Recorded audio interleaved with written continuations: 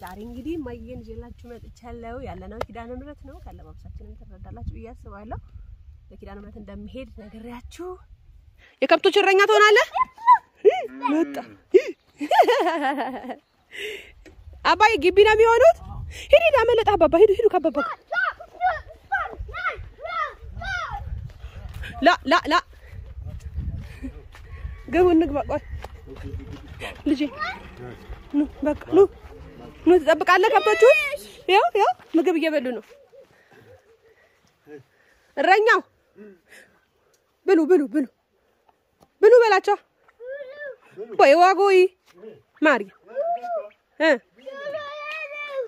አባባ ወደዚህ ሊወጉ ይችላሉ። እሺ አባዬ ያስፈራ። ይዋጋሉ እኮ እሺ እሺ እሺ በላ ቦ ብሉ በላቸው።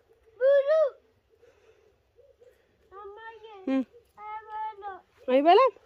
ብላ ብላ ንገረው ብላ ብላ ተውቶቱ እንዳትጠጋው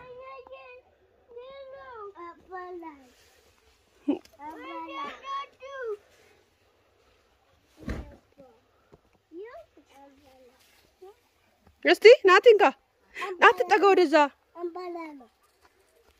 ልጅ ና ና ይወጋል። ማርያምን ያስፈራል።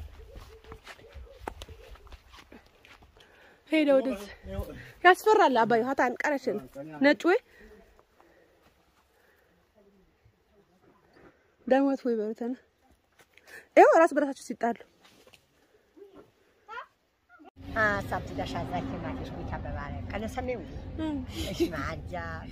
ሰላም ሰላም፣ እንዴት የተከበራችሁ የቻናሌ ቤተሰቦች እንዴት ናችሁ? ደህና ናችሁ?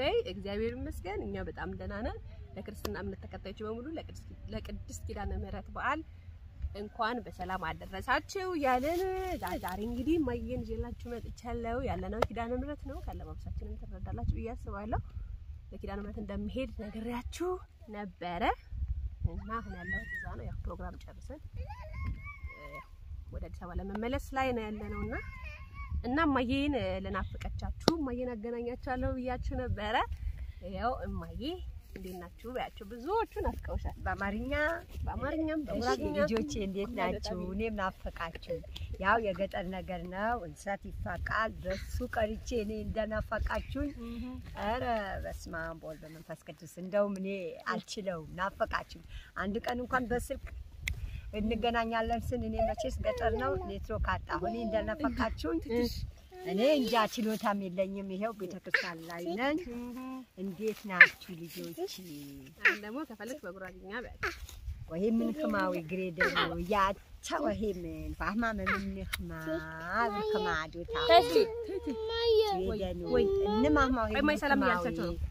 የአመት አሰናንደ መኳን የአመት አመት ያስራንደ ብርክማ ያዶታክማ ወይ በስ ናቲ ገረበ ይኸው እኮ ቆይ ያው እኮ እሺ እንዴት እንደዚህ ነው? ይኸው የምትቀርጸው እንደዚህ ነው። እንዴት? እሺ ያዙ፣ አስተካክለው። እሺ እዛ ወሰደው። እሺ ወሰደው፣ ቁጭ አድርገው። ኧረ በእናትህ ላናግራቸው አንዴ ይኸው እንደዚህ ያዙ። ይኸው እማ ይኸው ወረድ ወረድ አድርገው። እሺ